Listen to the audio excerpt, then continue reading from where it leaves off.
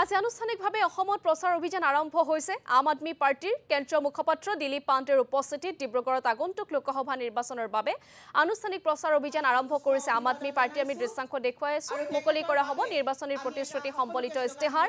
এয়া আমি পোনপটীয়াকৈ আপোনালোকক দৃশ্যাৱলী দেখুৱাই আছো। কেন্দ্ৰীয় মুখপাত্ৰ দিলীপ পাণ্ডেৰ উপস্থিতিত এয়া প্ৰচাৰ অভিযান বৰ্তমান আৰম্ভ হৈছে।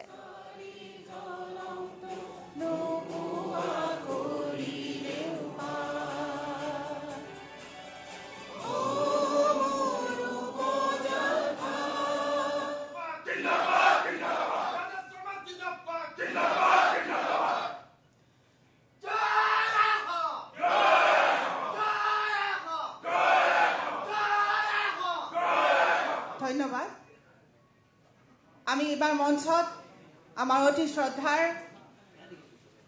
তিমালপুৰ সমষ্টিৰ বিধায়ক দিল্লী বিধানসভাৰ এগৰাকী জ্যেষ্ঠ নেতা দিলীপ পাণ্ডে ডাঙৰীয়াক সম্বৰ্ধনা যাচিবলৈ ওলাইছোঁ।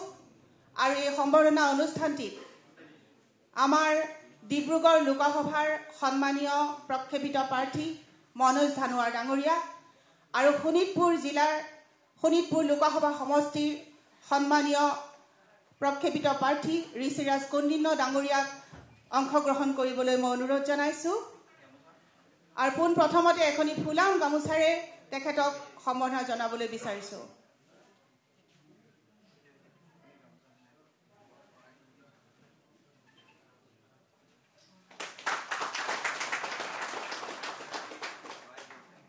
এখনি আমাৰ অসমৰ গৌৰৱ